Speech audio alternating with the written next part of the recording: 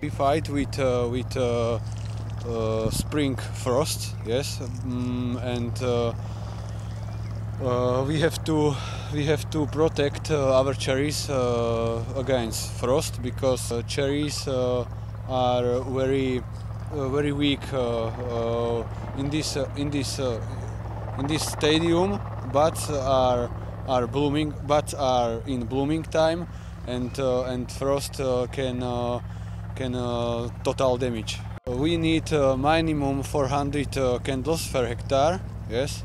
When we when we use stoves, there we use 200 uh, 200 uh, pieces per hectare, and uh, and in this orchard are are uh, 14 people in in this night.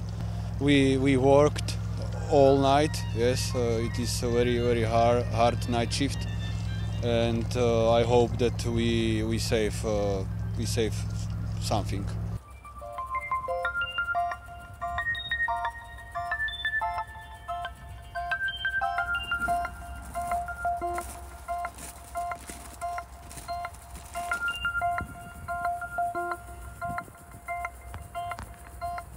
We have a very very bad situation with uh, with uh, uh, clima, climb, yes, because our our last years are very um, very warm. Yes, winter is very warm and